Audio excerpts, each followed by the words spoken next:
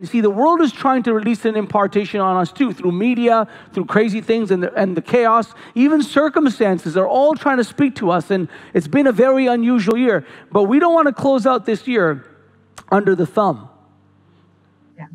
We want to close out this year in, in, in, under the hand of God. Do you see what I'm saying? Not under the thumb of the enemy or, or, or, or, or those things, but we really need to get in the hand of God, and we need to get into that place where the cheerfulness, the attitude, the faith would come alive in our hearts.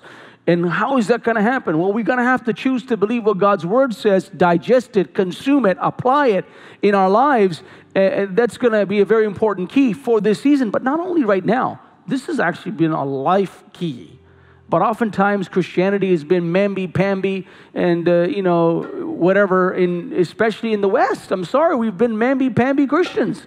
And uh, now we got craziness going on in our world. And the only reason it's happening is, unfortunately, we haven't been who we ought to be. Just be truthful. But that's okay. We're going to get there because the life of Christ is on the inside of us, and we're going to allow that reality to come alive because I'm telling you, Jesus is excited about his church. Jesus is excited about his bride.